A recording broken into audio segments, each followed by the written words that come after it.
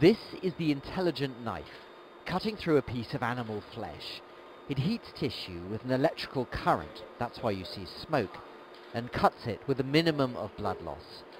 Surgeons have operated on our body time, but what's new is that the intelligent knife is connected to a machine analyzing the smoke coming off the tissue.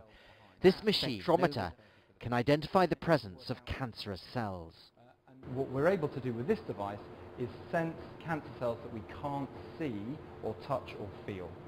So if you look at a really common disease like breast cancer, the data shows that in women having breast conserving surgery, nearly 20% of them have cancer cells left behind.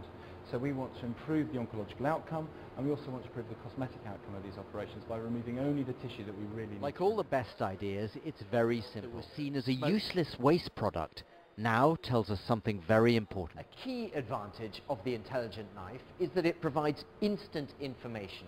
The surgeon can see straight away on this screen here whether there's any cancerous tissue, whereas until now, tissue had to be sent off to a laboratory for testing.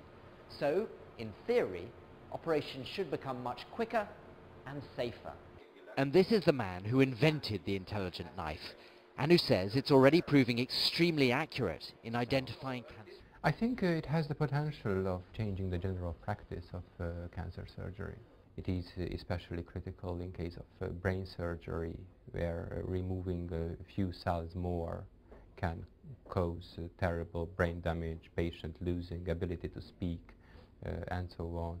The intelligent knife has the potential to save lives. It could be a very useful weapon struggle against cancer. Barnaby Phillips